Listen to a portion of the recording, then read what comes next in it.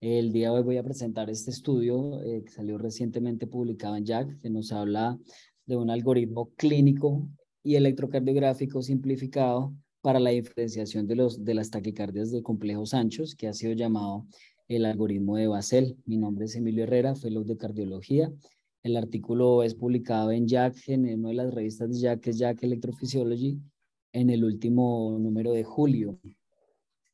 Para hacer una breve mención del currículum de los autores, el, autor, el primer autor es un hemodinamista eh, italiano que trabaja con, con este grupo de, de Basel, pero el jefe, el, coordinador del grupo es el doctor Tobias Reichling, que es el jefe de electrofisiología y arritmias del Hospital de Berna en Suiza y también del Hospital Universitario de, de Basel.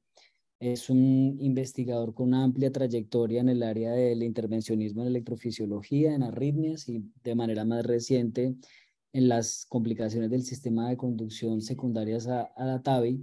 En PubMed se le encuentran 312 publicaciones con un H-index de 55 y casi 12.000 citas.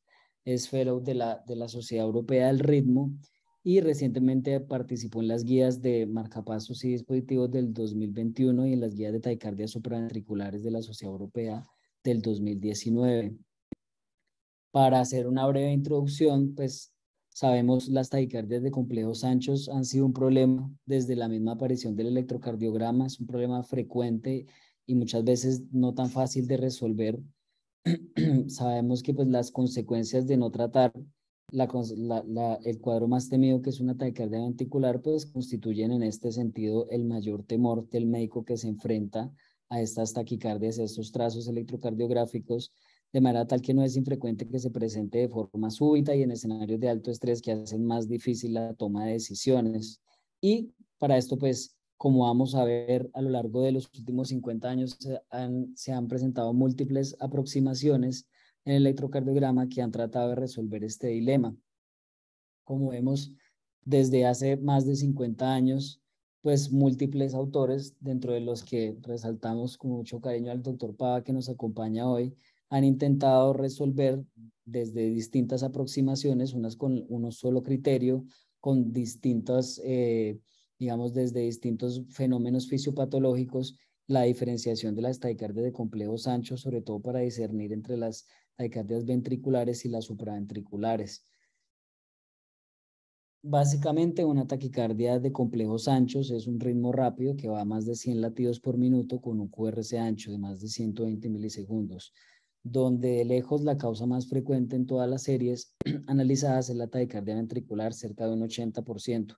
A esto le podríamos agregar que si hay un, un sustrato de cardiopatía estructural o de cardiopatía isquémica, eso ronda el 90% de manera tal que el 10-20% restante serían estos, estas de origen supraventricular, que comprenden tanto al tejido auricular como al tejido de la unión y que incluyen las taquicardias supraventriculares con conducción aberrante, con preexcitación, las que están bajo efecto de tóxicos o efectos de alteraciones metabólicas y las que están bajo, bajo la influencia de estimulación ventricular y de marcapasos.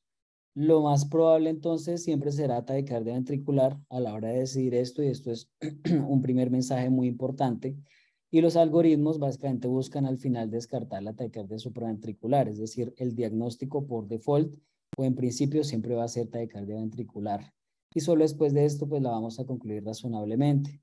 Y estos algoritmos que se han ideado se fundamentan básicamente en el análisis eh, e-, electrocardiográfico exclusivo.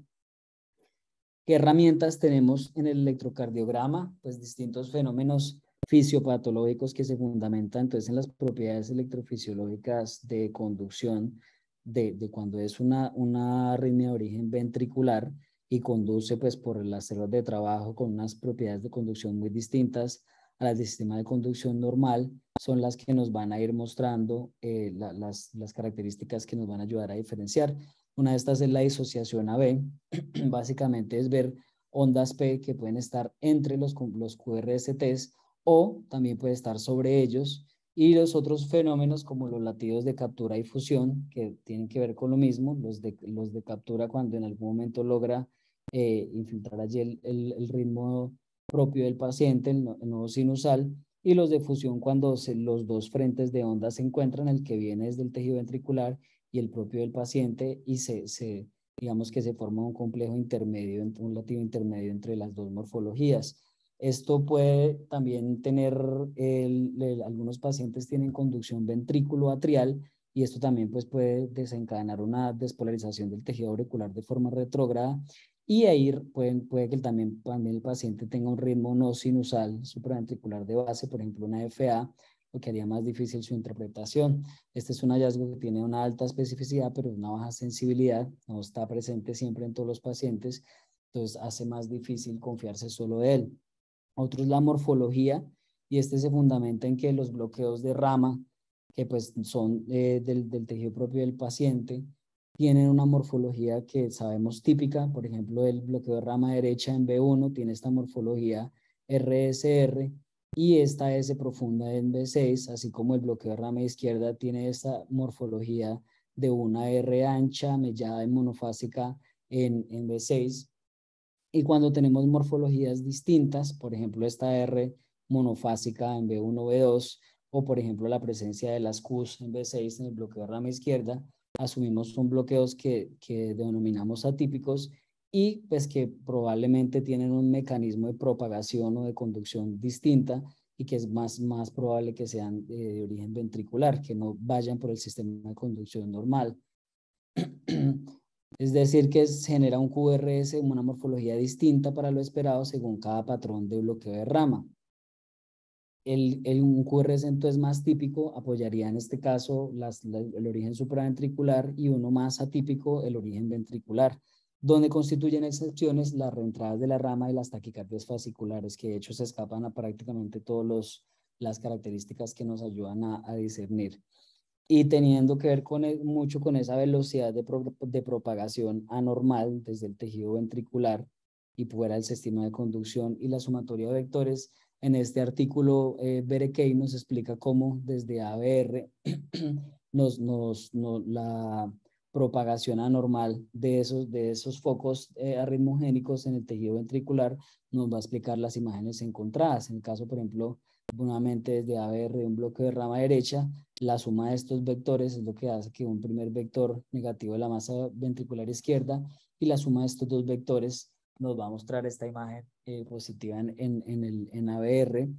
En el caso de las taquicardias ventriculares que tienen lugar en las porciones más distales o más apicales de los ventrículos, ese, la sumatoria de esos vectores va a ir, por decirlo así, en contra del sistema de conducción y vamos a ver una imagen predominantemente positiva en ABR, pero además más, más lenta y por tanto más ancho el QRS, lo que vamos a ver más adelante como las, los tiempos de activación. Y cuando es de otra manera y procede estas taquicardias ventriculares de focos distintos a, a regiones, digamos, más basales y más posteriores del corazón, las vamos a ver negativas, pero también con tiempos de activación más lentos o con melladuras en la, en la deflexión eh, negativa. Lo que nos explica nuevamente cómo estas, estas características son lo que hace que la conducción sea distinta y es lo que nos da como resultado la morfología observada en estas taquicardias. De hecho, el QRS o su duración es otro de los, de los criterios que podemos encontrar y eh, cuando es mayor de 160 milisegundos favorece pues más la, la, la, posibilidad de que sea origen ventricular y por debajo de 140 está en contra. Se habla de que por encima de 140 en bloqueos de rama derecha y por las características de la rama izquierda por encima de 160, siendo excepciones a esto los pacientes que están bajo la influencia de antiarrítmicos, alteraciones electrolíticas, algunas cardiopatías que aumentan el QRS y, la, y, la, y desde el otro punto de vista, las, algunas algunas taquicardias ventriculares idiopáticas pueden tener unos QRS mucho más angostos por debajo de 140 milisegundos.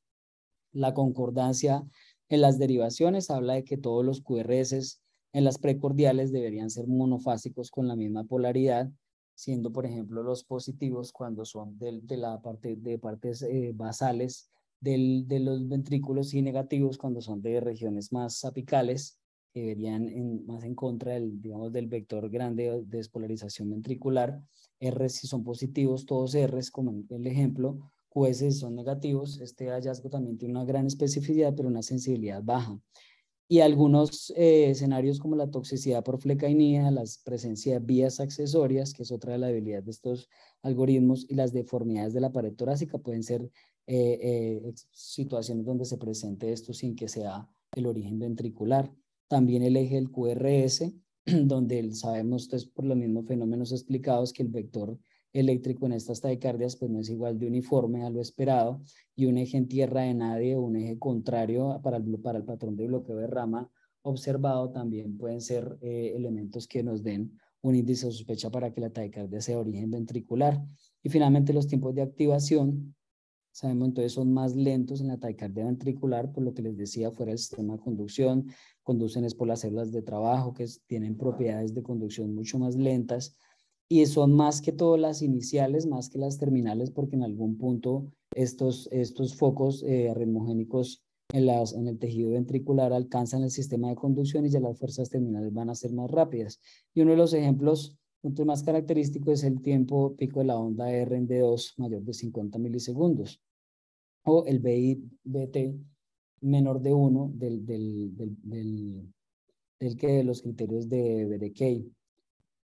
Y pues mencionamos acá el, el, el estudio del doctor Pava y le agradecemos por, por acompañarnos hoy. El doctor Pava junto con otros colegas de la Fundación Valle Lili publican en 2010 en Heart and Rhythm este, este algoritmo junto con el doctor Morillo que nos acompañó recientemente y el, y el doctor Brugada.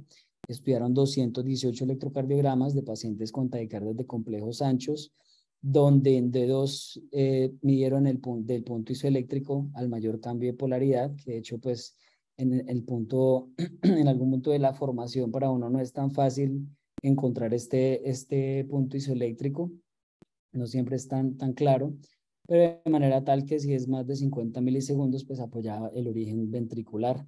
Estos pacientes, el estándar de oro fue el estudio electrofisiológico, al igual que muchos de los otros estudios, casi todos los de los algoritmos se han comparado obviamente contra el estándar de oro, que es el estudio electrofisiológico, y vieron que los tiempos de, de, activación en las ventriculares eran más o menos de 80 versus las supraventriculares más o menos de 30, con una eh, significancia estadística clara, teniendo unos eh, parámetros de rendimiento diagnóstico muy bueno, un área bajo la curva de casi 1, una razón de verosimilitud positiva muy alta de casi 35 y una concordancia interobservador, un capa de casi 0,9.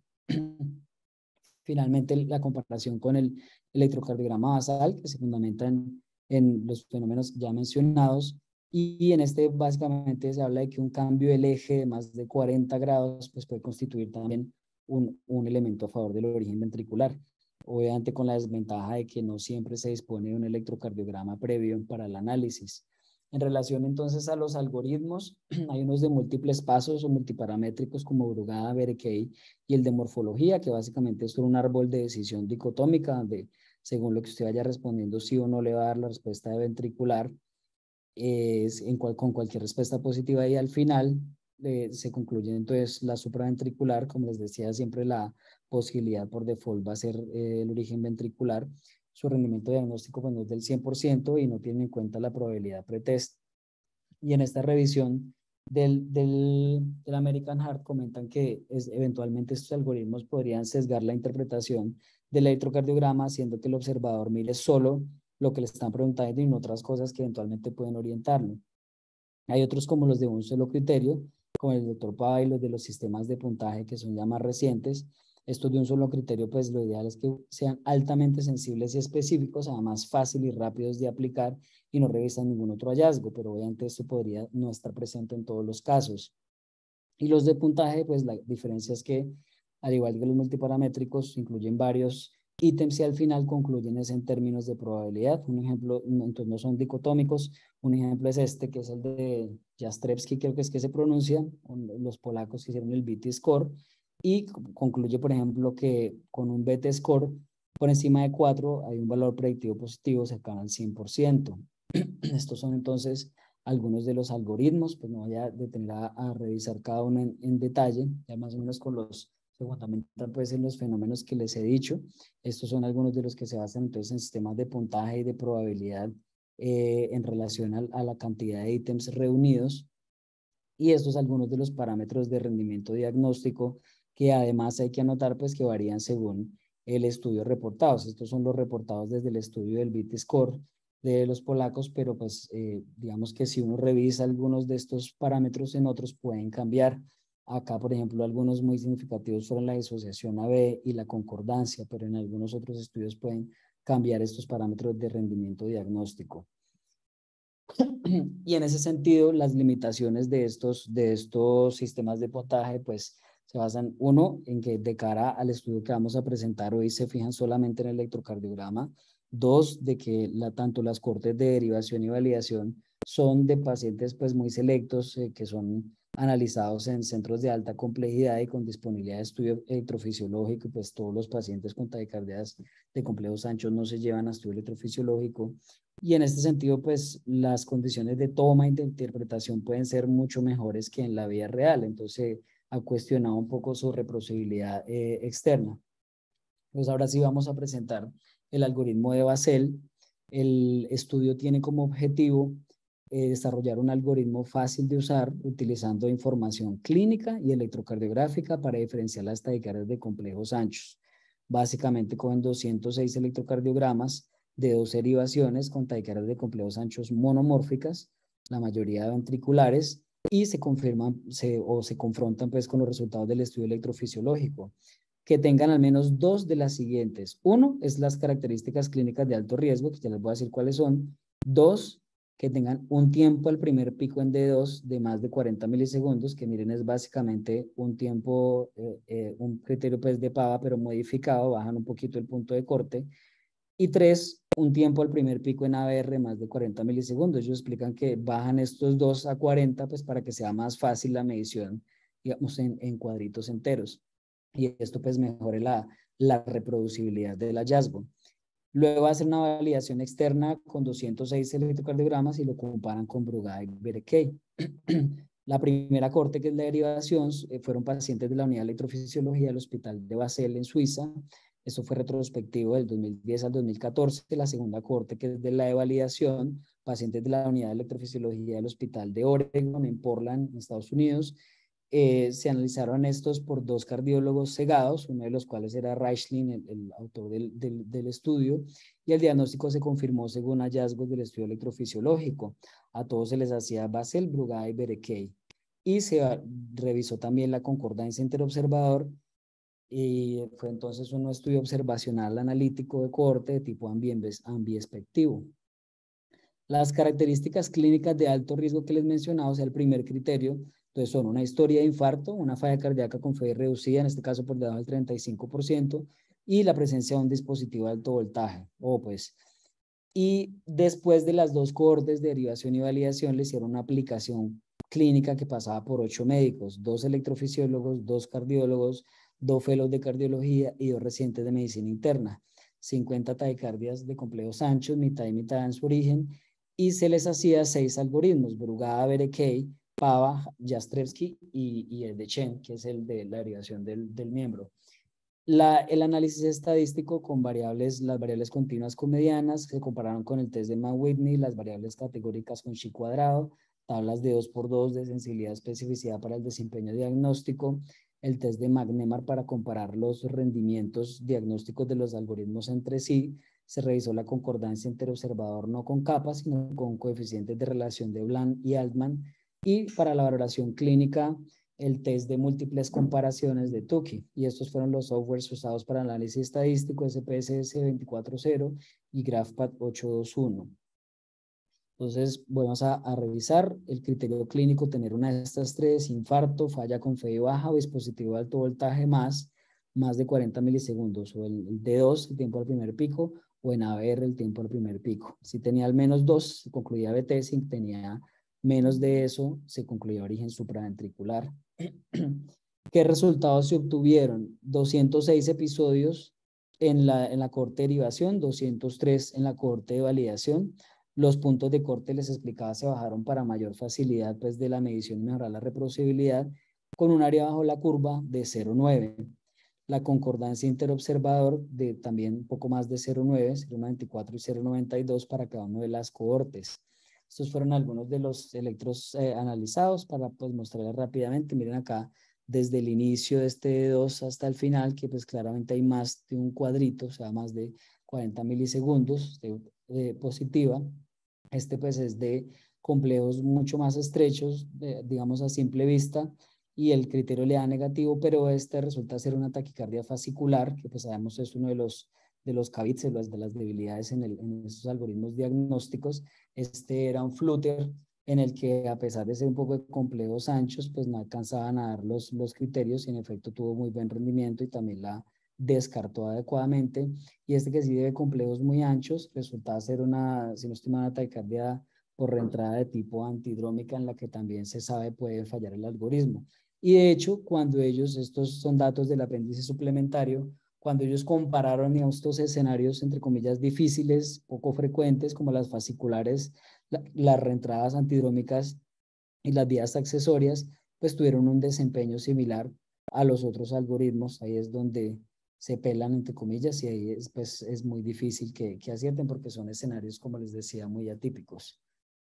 en cuanto a las variables clínicas, muy similares en edad, eh, muy similares en distribución de género, obviamente más, más compromiso estructural en los pacientes con taquicardias ventriculares, en ambas cohortes, obviamente fracciones de eyecciones más bajas en, en, la, en los pacientes con taquicardia ventricular y un uso también un poco mayor de antiarrítmicos en el primer grupo, el de las taquicardias ventriculares.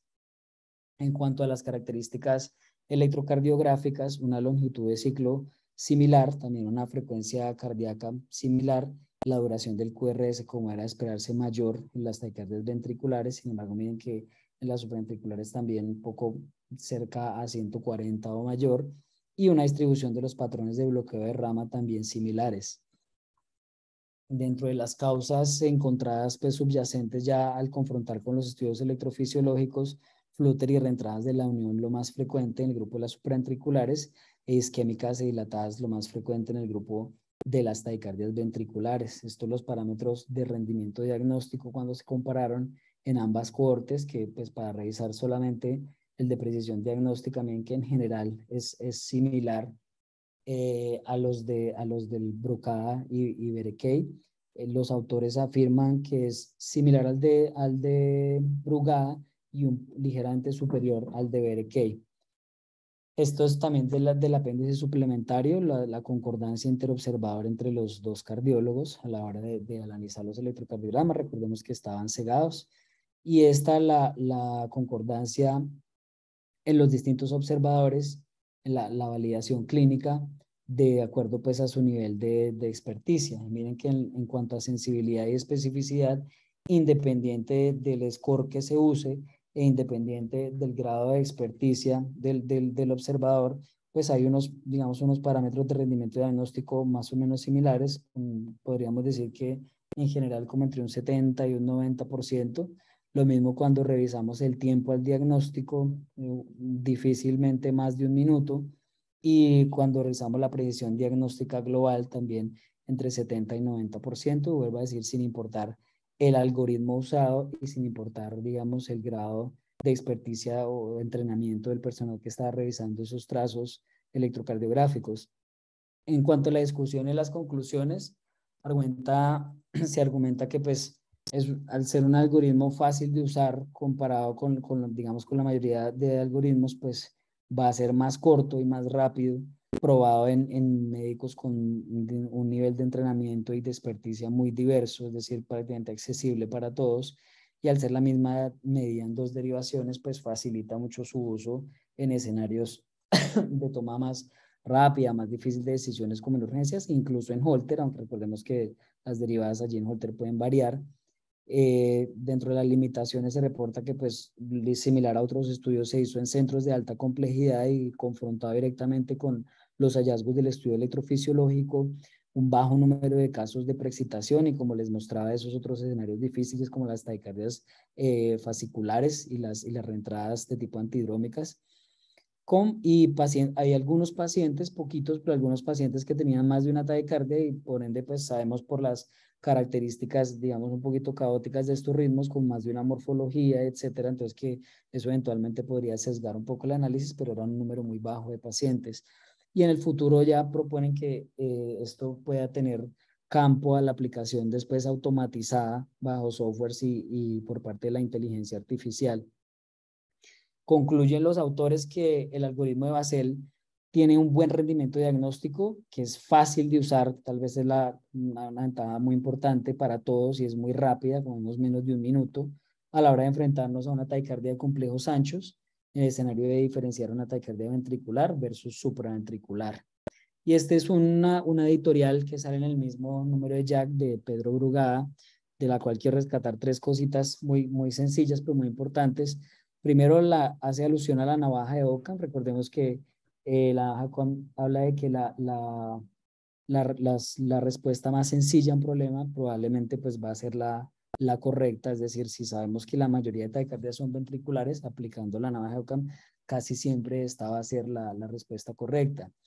Y habla del teorema de Bayes, que sabemos la, hablar de probabilidades, de probabilidad pretest y confrontar con la probabilidad post-test, de acuerdo a lo que esperamos encontrar con estudio, pues nos sirve mucho, de manera tal que incorporar el factor de riesgo clínico, por decirlo así, pues nos da una, una ventaja muy grande en, en este estudio que de pronto no lo, estaba de lejos pues en, en, el constructo de todos hace rato, pero pronto no se había incorporado formalmente a estos sistemas de puntaje.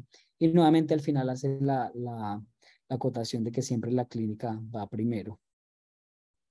Muchas gracias y quedo atento a preguntas, comentarios y pues agradecerles a toda la asistencia y espero la, la, pues, la participación de los comentaristas que, de los, de los que, las personas que nos acompañan hoy. Emilio, muchísimas gracias por tu presentación y bueno, ya tenemos un número importante de personas que nos acompañan esta noche. Muchas gracias, no tuvimos oportunidad de saludarlos a todos al momento de ingreso y contarles que es una noche muy especial porque tenemos entre nuestra audiencia al doctor Fernando Pava, uno de los investigadores en algoritmos de taquicardia de complejos anchos. De manera que se abre la discusión. Eh, no sé si el doctor Pava tenga algún comentario para hacer o lo deja para más adelante. Está también con nosotros el doctor Carlos Gómez, profesor de Emilio en este momento, electrofisiólogo, y tenemos una, serie de cardiólogos y internistas que nos acompañan a que eh, adelante bien puedan ustedes participar sus preguntas, sus eh, comentarios. Bienvenidos. Eh, vamos a ver qué tiene de los panelistas. Adelante, doctor eh, Fernando. Bien pueda utilizar el micrófono y si quiere, también el video, doctor Fernando. doctor Jaramillo, muchas gracias. Yo me voy a acabar creyendo pues que que, tantas veces me han nombrado, por favor no, no vuelvan a hacer eso porque yo no estoy acostumbrado. Muchas gracias. Quería decirle a los jóvenes, no, no tengo video, pero no, no hay ningún problema. Quería decirle a los jóvenes que empiezan a investigar que, por ejemplo, mi compañero el doctor Pablo Perafán, que está en el mismo estudio que nosotros publicamos en el HRS, Harriet, eh, tenía la misma idea de hacer un estudio muy parecido a este que acaba de, explicar el doctor Herrera, y era hacer un algoritmo rápido con disociación BA o AB, como quieran llamarle, eh, el criterio D2, R-Way Peak Time en D2, y con el de Berekei. Y como no lo hemos hecho en estos meses que lo ha propuesto, fíjense que aparecen otros muy rápido. Entonces, el primer mensaje para los jóvenes investigadores es que desarrollen la idea de una manera rápida en cuanto se les ocurra. La otra cosa es decirles que estos estudios tan bonitos salen con una tablita de 2x2. No, no necesitan hacer nada más complejo, nada más diferente que una tablita de 2x2. La tercera es una pregunta para los epidemiólogos. Eh, desde el punto de vista metodológico del estudio, ellos hicieron en la, en la cohorte de, ¿cómo se llama la primera cohorte inicial? Se llama... Cohorte, derivación, profe. La cohorte de derivación. Hicieron un análisis del, de, de, los eh, criterios de Berekei, uno de los criterios de Berekei, que es 40 milisegundos al inicio, y otro del, del criterio nuestro que se llama Airway Peak Time mayor de 50. La pregunta para los epidemiólogos, bueno, incluso a ellos les dio que les dio 52 milisegundos en promedio como diferenciador de las taquis supras. La pregunta es si uno puede escoger 40 milisegundos simplemente porque es más amigable, pues para los que hacen epidemiología y, y, les quedó muy bien el estudio, pero la pregunta es si eso se puede hacer libremente. Muchas gracias, doctor Jaramillo. Y Fernando, muchas gracias. No sé si tengamos alguien que pueda darle respuesta al doctor Fernando. No está hoy nuestros epidemiólogos usuales, pero no sé si los compañeros... adelante. Si, me permite, profe, yo... Adelante, Emilio, por favor. Una cosita que, que tengo acá a propósito de lo que pregunta el doctor Pava. Mire, profe, este fue el, el análisis que ellos hicieron de qué tanto se comprometía el, el, rendimiento diagnóstico al bajar esos puntos de corte y pues el, el, el área bajo la curva. Pues acá está que si tenían 51, que fue lo que ustedes habían encontrado en el 2010, en la sensibilidad era más o menos 83, las, la, la, la sensibilidad con 40 puede ser incluso un poquito más alto, si se compromete de forma significativa la especificidad, pues cuando esperarse, de 96 a 75. Lo mismo para el criterio de ABR. Entonces ellos argumentan después que a pesar de ese compromiso, pues ellos sí lo que esperaban, digamos, de, de, de hacer esas modificaciones era mejorar sobre todo el tema de la reproducibilidad externa y decían, pues como pusimos a los residentes, a los felos, a pronto gente que era mucho menos experta en la interpretación del electrocardiograma, pues que fuera más fácil de, de contar cuadritos enteros y, y, y, de esta manera pues mejorar los, los resultados en, digamos, en escenarios distintos al grupo original. Eso es como lo que yo encontré de eso, profe. Emilio, gracias. Doctor Padava, ¿queda satisfecho con esa respuesta el doctor Emilio? Sí, señor, muy satisfecho y la verdad es que yo no había bajado este suplemento, pero sí muy satisfecho. Y pues yo lo digo para un estudio más grande o de otra, de otro otra índole, no sé, más, más diferente, si eso se puede hacer, ah, pero claro, ellos tienen un buen motivo que es hacer el criterio amigable y está muy bien. Gracias, doctor Herrera. Perfecto. ¿Alguna otra pregunta? Eh, varios tienen el micrófono disponible. Todo lo que deben hacer es levantar la mano y ofrecemos el, micrófono a los que no lo tengan comentarios.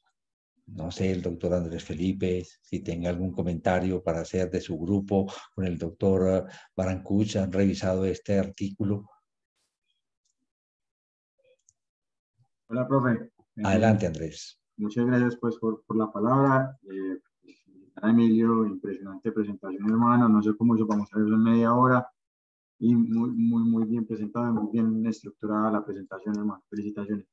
Eh, profe, aquí se mencionó un poquito pues cuando, cuando, cuando el artículo salió, pero realmente hay, hay una cosa y es que uno comienza a ver, inclusive los autores lo mencionan en, el, en, el, en la introducción del artículo, y es que eh, una de las ideas de, de, estos algoritmos es siempre tratar de hacer el diagnóstico más fácil para población de no electrofisiólogos.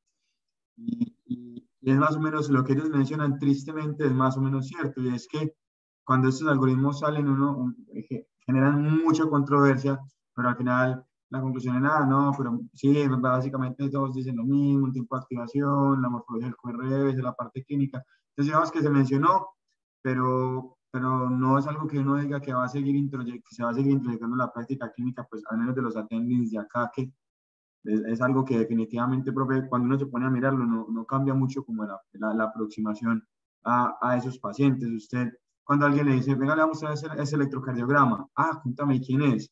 No, mire, es, un paciente de 26 años, taquicardia de complejos anchos. Dice, bueno, posiblemente si no es una TV. O si es una TV, es idiopática. ¿Tiene comorbilidades? No, no tiene comorbilidades. Ah, mostrame el electro. Y usted inmediatamente trata de ir a buscar cosas que le apoyen el diagnóstico de una TV idiopática o le trata de ver el electro sinusal para buscarle la vía accesoria y, y demostrar que es una, eh, una vía accesoria con una, con una reentrada antidrómica. Entonces, eso no es nuevo. O sea, la parte clínica primero es algo que no es nuevo. Yo, yo particularmente, que es un tema que me gusta mucho, eh, me gustan o los, los algoritmos de una derivada, inclusive ellos lo muestran en la gráfica. Yo no sé si Emilio puede poner la diapositiva donde tiene la gráfica 1 en la, en, en la gráfica de barras, donde ellos ponen la accesibilidad, la especificidad, la especificidad y el, el rendimiento donde evidentemente el, los algoritmos de mejor rendimiento son los de una sola derivada, inclusive el, algoritmo de, de que ellos usan es superior en sensibilidad, superior en, en, rendimiento al mismo algoritmo de Basel. Entonces, el, estudio es muy bonito, el doctor Pava, que me, me, alegra mucho que esté acá y, gracias por venir al club de revista, eh, lo mencionaba muy bien, es, es, es, un estudio muy bonito, muy bien hecho, muy interesante, pero usted dice, bueno, y, y mañana cuando yo recibo el electrocardiograma con taquicardia de complejos anchos voy a decir, espérate, le aplico el algoritmo de Basel. No, y yo creo que lo que uno hace, o lo que yo particularmente siempre he motivado a todos, es hágale todos los criterios que usted se sepa. Coja la parte clínica, aplique un poquito de Bereque, aplique un poquito del criterio de tiempo de activación del doctor Pava. Si se sabe algunos del lugar, aplique los del lugar. Y así es la mejor manera y la forma como usted se va a hacer familiar. No casarse nunca con un solo criterio de diagnóstico, con un solo algoritmo, por decirlo así. Ese es más o menos como el mensaje. Yo le quería hacer una pregunta a Emilio para terminar mi intervención y es, si Emilio sabe cuántos de los diagnósticos que ellos lograron con el algoritmo nuevo eh, lo, obtuvieron utilizando solo los dos criterios del electrocardiograma y en cuántos de los diagnósticos que hicieron eh, el componente clínico fue, pues, hizo parte de esos dos de tres. Profe, pues yo no, no lo vi así diferenciado, voy a, voy a buscarlo en el apéndice suplementario y, y le digo que no, que lo, lo he visto discernido así, no, no lo tengo claro en este momento. Perfecto. Mientras Emilio lo busca, este, el doctor Ramos, que me excusa, doctor, no, no lo había identificado. Eh, muchísimas gracias por acompañarnos y adelante, por favor, doctor Ramos. Tranquilo, profe, no hay problema. Eh, a ver, yo, yo comparto parte como el, como el del pensamiento de, del, de Pipe Miranda, ¿sí? Eh, yo, yo, hay, una, hay, una, hay una, pues, una cosa que llama el efecto de Donning-Kruger. Ahora es que hablamos como de la, de la navaja de, de Ockham, hay otro que se llama el efecto de Donning-Kruger. El efecto de Donning-Kruger es que a veces la gente con un poquito conocimiento cree saber mucho.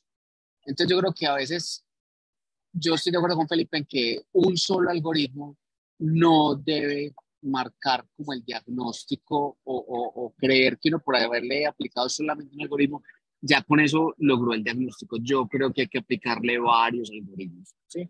Y yo siempre lo hago, ¿sí?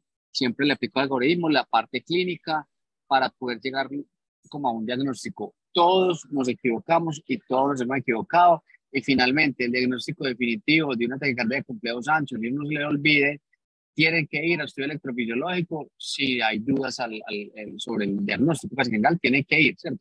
si usted tiene un paciente con taquicardia de cumpleaños anchos y tenía eh, menos de 35 de eyección, ¿cierto? Pues posiblemente, si usted le queda más o menos claro que este ve, pues va a desfibrilar. Por eso usted le quedó la duda, de pronto vale la pena llevarlo a estudio electrofisiológico, porque si le pone el desfibrilador, va a seguir haciendo la misma taquicardia y lo va a empezar a descargar por una supraventricular que usted no hizo el diagnóstico adecuado. El desfibrilador no lo necesitaba pero, pero lo va a descargar inapropiadamente de pronto por una taquicardia supraventricular porque tenía un flotter, porque tenía otra cosa. Entonces yo creo que vale la pena aplicar varios de los algoritmos en el orden que usted quiera.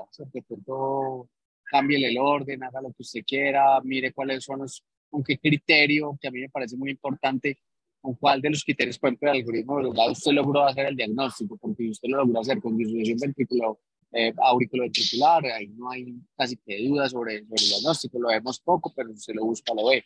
Entonces yo creo que sí vale la pena como aplicar varios de los, varios de los algoritmos para poder eh, intentar llegar a un solo y no conformarse con uno solo.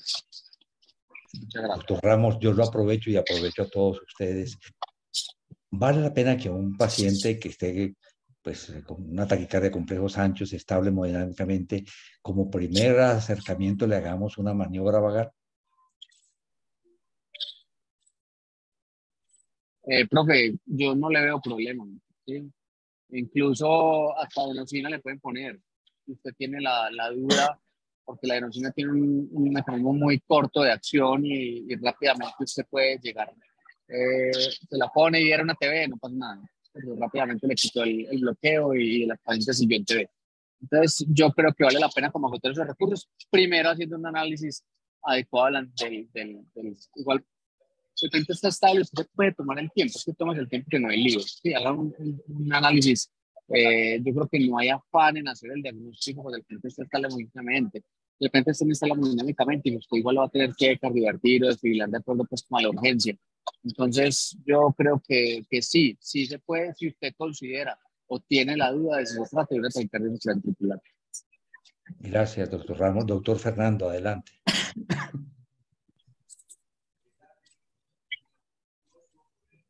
Adelante, doctor Fernando. ¿Iba a hacer algún comentario? Ah, perdón que no tenía aprendido el... Esa pregunta suya va remarcada para el mismo escenario de siempre que nos perdemos en urgencia. Por favor, cuando hagan un masaje del seno carotídeo o una adenosina, que corra un electrocardiograma para poder analizar el caso después eh, con más tranquilidad. en su pregunta, en el caso de una taquicardia de complejos anchos, sirve para disociar a veces eh, la, la, conducción BA, que sería en este caso, y nos daría el diagnóstico, lo mismo que la adenosina, doctor, como dice el doctor Felipe, si es supra con aberrancia, muy probablemente la va a quitar, quitar la arritmia con la adenosina, quizás también con un masaje del seno carotídeo. Si es ventricular, normalmente no, no pasa nada. Entonces, el mensaje y, y la respuesta a esa pregunta es que sí se puede hacer, pues no, normalmente no quita las taquicardias ventriculares, pero que se haga con un electrocardiograma corriendo. Perfecto, muchas gracias, eh, doctor Ramos y doctor Pava. Eh, no sé, Emilio, si tienes algún comentario para resolver la pregunta que nos hacía el doctor Ramos.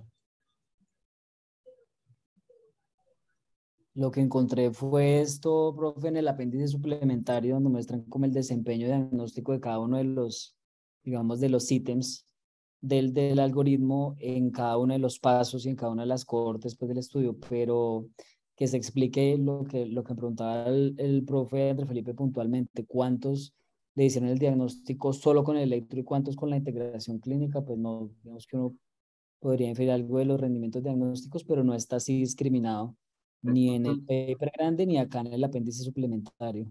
Pero mire, mire que esa tabla es muy interesante. Mire, mire, mire la parte 1 o, el, paso 1 del algoritmo de base que ellos proponen. Mire la, mire, mire la sensibilidad, la especificidad, los valores predictivos negativos y el desempeño diagnóstico comparado contra los criterios electrocardiográficos. Ah, todos, son, todos se quedan por debajo, todos son menores. La, parte clínica es inferior a los dos criterios electrocardiográficos en todos los aspectos. ¿Verdad o mentira? ¿Cierto? Bueno, tenga eso ahí en mente y si puede y le queda fácil ahora y si nos puede mostrar la gráfica donde ellos evalúan los rendimientos diagnósticos de los diferentes eh, eh, eh, algoritmos que usaron en el gráfico de barras. Si la puede mostrar sería muy bueno. Esta en barra, Emilio. La, la tiene en la presentación. Ahí estamos viendo el Word todavía. ¿No es esta, profe? La de... Ah, ya sé. Estamos viendo el, el, el, Word todavía. Espérenme, ya la... Ya la... Eh, ahí lo más interesante y lo que, lo que llama la atención es que usted termina viendo que finalmente los, los dos aspectos más importantes del algoritmo son las dos variables electrocardiográficas. ¿Sí? Y que en el, en el gráfico de barras que Emilio nos va a mostrar ahora, el, criterio de Berekei, que es el único criterio de un algoritmo que hablar en contra del algoritmo de Basel, porque el criterio de Brugada es un, criterio multistep, como, como Emilio mencionó al, al, principio, tuvo mejor rendimiento que el algoritmo de Basel en, en algunos de los aspectos. Entonces usted dice, yo estoy cambiando el rendimiento diagnóstico de, una, de, de, un, de, un, de, lo que vamos o de lo que estamos intentando hacer, que son algoritmos de una sola derivada, por un algoritmo que toma dos y que me agrega una, una variable que a mí me encanta la clínica, soy un defensor de eso, pero que definitivamente es inferior cuando la comparo con los dos criterios adicionales. Entonces la pregunta es al final, ¿yo qué estoy ganando y qué me está cambiando el algoritmo? Y esa pregunta se las quisiera hacer a, a los profes, al doctor Carlos José, a Emilio, al doctor Pava, al final, en que mañana, cuando aproximen un paciente con taquicardia de complejos anchos, este algoritmo y este paper, ¿qué les va a cambiar en su práctica cotidiana? No, de hecho, profe, bueno, yo voy a, opinar de primero porque para que los profes después me complementen, pero de hecho, no solo que usted decía, porque ves es que además en todos los, en todos los estudios, no solo en siempre se, de hecho, una de las, de las críticas que aparece en una revisión muy buena, que es la de, American Heart del 2020, dicen eso, dicen, una de las debilidades de las aproximaciones, incluso las que son multi-step, es que el observador va y mira solo eso y entonces no mira nada más. Y qué tal que tuviera, no sé, la, la concordancia positiva o la disociación AB. Alguien tiene prendido el micrófono.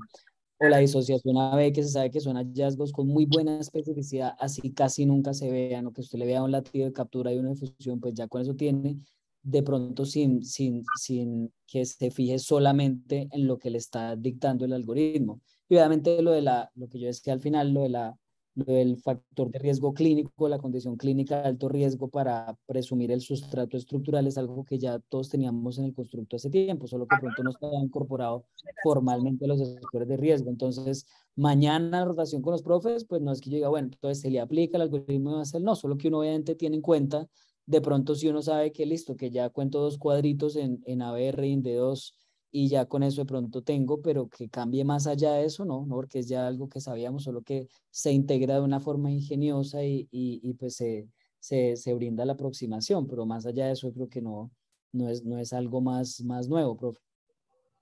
Perfecto. hay una pregunta del doctor Carlos Atencia, un internista muy interesado en este tema, que te dice que muchas gracias por tu excelente exposición, doctor Herrera. Pregunta respecto a la exactitud del estudio. ¿Los pacientes se les aplicó el estándar de referencia diagnóstica, estudio electrofisiológico de manera universal, ciega e independiente? Sí, profe, absolutamente a todos los pacientes, pues para obviamente tener, digamos, el, el comparador, el estándar de oro siempre y, ahí se mostraban pues los, los estudios, de hecho en, la diapositiva que tengo ahora mismo acá, no sé cómo quitar esto del, del chat, eh, se muestran los, los resultados según el estudio electrofisiológico, cuántos flutter, cuántas reentradas de la unión, cuántas taquis atriales, cuántas antidrómicas y de las ventriculares también, cuántas de cada cosa. Esto fue pues corroborado por los hallazgos del, del, del estudio electrofisiológico, se les hizo a todos, que eso de hecho también cuando uno revisa los demás estudios se ha hecho siempre así, corroborado con estudio electrofisiológico, que pues es como, como para siempre compararlo con el estándar de oro y que no sé qué es solo la, la interpretación del, del trazo del electrocardiograma de superficie, de dos derivaciones. Perfecto, Emilio. El doctor Ramos ah, tiene la mano levantada. Pipe, eh, Ramos, por favor, ¿tienes algún comentario? Ah, no, profe, no, eh. se me quedó levantada, pero yo, yo les, les complemento algo sí, recuerden que siempre el estándar de oro es el estudio electrofisiológico. Entonces, hay que, hay que hacerlo, lo que les, les insisto en lo que les decía ahorita, ¿cierto? Si usted tiene la duda de si era una sub o una ventri, hay que llevarlo a estudio electrofisiológico, ¿cierto? Lo otro es, yo estoy de acuerdo con Felipe en que, en que la clínica nos, a veces nos engaña, ¿cierto? Desafortunadamente. Porque hay pacientes que tienen menos de 35 de eyección y, y pueden tener una reentrada nueva B, ¿cierto? O, o pueden tener un flotter, porque es que la parte estructural no solamente está en el ventrículo, está en la aurícula, eh, pero, y también hay gente que tiene un corazón estructuralmente sano, pero tiene alguna arritmia inducible eh, ventricular, ¿sí? Por algún motivo. Entonces, entonces yo creo que, que no es para decir yo con la clínica me voy solamente, pero sí creo que vale la pena evaluar el contexto clínico porque sí es mucho más probable que un paciente que se pues que se presente con una taquicardia de complejo ancho y tenga menos de 35 de pues lo más posible, lo que usted debe pensar inicialmente es que tenga una taquicardia ventricular. Por lo menos para esa evaluación inicial, y de repente llegó y se puso maluco, es lo que tiene que contar para que usted tome la decisión de qué es lo que va a hacer con el paciente ahí, en urgencias. Es que para nosotros los cardiólogos y para a veces los cardiólogos es fácil porque nosotros recibimos al paciente después. Pero a veces para los que están en urgencias es un poco más difícil, tienen que tomar la decisión más en caliente y nosotros siempre la tomamos un poco más en frío. Ustedes saben mi pasión por la inteligencia artificial en electrocardiografía, lo que nos ha enseñado el doctor Freeman y su grupo y tantos grupos que están en este momento eh, publicando cosas que nos sorprenden. ¿Creen ustedes de que tendremos un algoritmo de inteligencia artificial con una eh, especificidad y una sensibilidad cercana al 99%? Eh, profe, yo le cuento algo, yo revisé el tema hace poco y sí, es probable que en algún momento lleguemos a eso, pero en este momento esos algoritmos de inteligencia artificial de análisis del electrocardiograma en taquicardia dependen en el momento de el análisis del electrocardiograma basal inicial, o sea, el electrocardiograma sin taquicardia del paciente. Entonces, eso limita un poco en el momento eh, ese, esa, ese ítem de, de, la inteligencia artificial o de los, o de los eh, diagnósticos computarizados. Sí, es que posiblemente, doctor Ramos, obviamente la inteligencia artificial, esa más parte de, de deep learning, eh, esa casi caja, negra que nos sorprende de cómo se logra interpretar en un electrocardiograma en ritmo sinusal que ese paciente va a desarrollar fibrilación auricular o cuál es su fracción de eyección, yo no sé cómo lo logra, pero definitivamente hay, hay información que eh, apenas estamos empezando a entender que nos está despertando esa manera de, de ver distinto con inteligencia artificial, ¿no? Así es, es muy interesante, pero creo que le falta todo un poco. Claro, claro. Bueno, muchas gracias. ¿Alguna otra pregunta, algún otro comentario? El doctor Carlos Gómez ha estado muy calladito, doctor Carlos Gómez. Yo quisiera que de pronto usted nos contara un poquito también de su perspectiva. Si es posible. Profesor, aquí viendo que una exposición muy buena por parte de Emilio, lo que le dijo el doctor Andrés Felipe, muy guapo haberlo eh, sintetizado en 30 minutos porque fue una muy, muy clara exposición de todos los algoritmos. Eh, reforzando lo que dice el doctor Andrés Felipe, eh, lo que hay que hacer uno es estudiar mucho, estudiar mucho para que las cosas sean más simples. Entonces, si uno que está en formación solamente se pega de un algoritmo o de una descripción de una forma de interpretar un electrocardiograma, probablemente se pierde el conocimiento adquirido durante muchos años en estos otros algoritmos y se le pueden pasar diagnósticos eh, realmente importantes. Como decimos siempre que le estamos mostrando un electrocardiograma a alguien que está en formación, tiene 80% de probabilidades de hacer el diagnóstico de entrada de una taquicardia por complejos anchos, porque la gran mayoría son TVs, ¿sí? Pero lo que hay que hacer es el ejercicio mental de poder llegar como lo más preciso posible para uno eh, prestar pues un buen servicio al final de todo el asunto. Eh, con respecto a lo de eh, los algoritmos o los métodos de inteligencia artificial, eh, yo estoy de acuerdo en que se van a imponer a futuro, pero van a tener también una sensibilidad y especificidad. No quiere decir que nos van a reemplazar 100%, pero van a ser más sencillos posiblemente en, en, los, en los sitios donde no haya un electrofisiólogo, porque ahí es donde hay que aplicar la inteligencia artificial, donde no está el recurso especializado. entonces yo creo que a futuro sí va a ser muy interesante. Por ejemplo, en fibrilación auricular, pues la morfología de la onda P, la duración del intervalo PR, son cosas que hemos leído ya de que son útiles eh, para, como predictores de desarrollo de fibrilación auricular, pero muchas veces no se les presta atención en la, en la práctica clínica diaria. Pero yo creo que con el e-learning o el deep learning se van a conocer muchísimas cosas que posteriormente nos van a servir a nosotros mismos como conocimiento. Felicitaciones nuevamente a Emilio por este tan excelente revisión felicitaciones y a Fernando por ese trabajo que publicó hace un par de años y muchas gracias por habernos acompañado. Yo creo que estos espacios son productivos para todos. Muchas gracias. Muchas gracias, doctor Carlos Arturo. El doctor Fernando tiene la palabra. Gracias, doctor Carlos Gómez. Eh, querido y apreciado doctor, em, la pregunta del doctor Jaramillo dice que si el, el aprendizaje nos va a dar algo tecnológico. Yo estoy completamente pues esperanzado o seguro de que una máquina o un software, etcétera, sí nos va a decir qué arritmia tiene el paciente, si es supra o es supra es ventricular. Hay unos eh, criterios, hay unas taquicardias que nos van a equivocar a los humanos y van a equivocar a las máquinas con mucha probabilidad. De la parte ventricular tenemos las fasciculares que se comportan como supraventriculares porque son muy estrechitas, responden al verapamilo, tienen características benignas, es decir, se parecen mucho a las eh, supraventriculares. Y hay otras supraventriculares que se parecen a las ventriculares, que son la anomalía de Epstein con trastorno de la despolarización, las taquicardias de Mannheim o las antidrómicas que son más o menos parecidas en el, en el mecanismo porque conectan al ventrículo y dan complejos muy anchos. Entonces, las máquinas también se van a equivocar y no tendremos ningún criterio que sea absolutamente eh, patognomónico de taquicardia ventricular como creíamos que existía, por ejemplo, con la disociación ventriculoatrial. Es muy específico de una taquicardia ventricular, pero no tenemos ningún criterio patognomónico. Por eso tendremos criterios clínicos eh, de duración, criterios eh, fisiológicos, filosóficos, prácticos, etcétera. Pero, pero yo creo que sí llegará un momento en que el aprendizaje de las máquinas nos va a dar una respuesta muy rápida y, bastante precisa. Gracias, doctor Jaramillo. todos ustedes, muchísimas gracias. Vamos ya terminando nuestro club de revistas. No sé si hay algún otro comentario, sino para que el doctor Emilio haga un comentario final. No, profe, ¿Perdón? Sí, no sé si alguien quería participar. Eh, por favor, levante la mano si alguien tiene una pregunta final. Ahí de pronto.